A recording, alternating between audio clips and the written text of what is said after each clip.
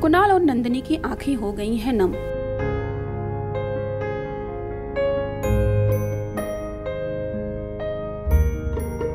कुणाल और नंदिनी दोनों ही एक दूसरे के लिए रो रहे हैं।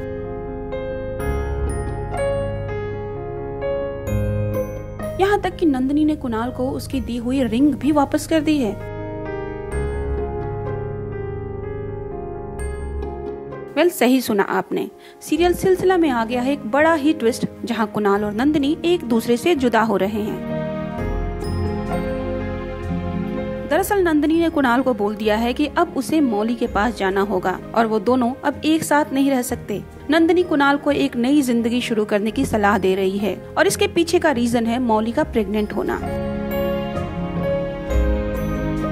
इसी के चलते जब दोनों एक दूसरे से हो रहे हैं जुदा तो दोनों की आँखें एक दूसरे के लिए नम हो गई हैं। दोनों ही एक दूसरे से जुदा नहीं होना चाहते हैं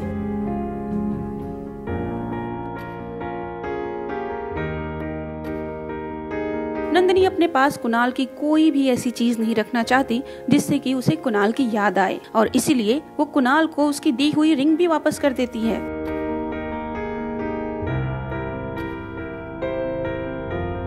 अब नंदनी और कुणाल ने तो ये बड़ा फैसला ले लिया है। अब इस फैसले के बाद शो में क्या नया ट्विस्ट आएगा, ये देखना इंटरेस्टिंग होगा।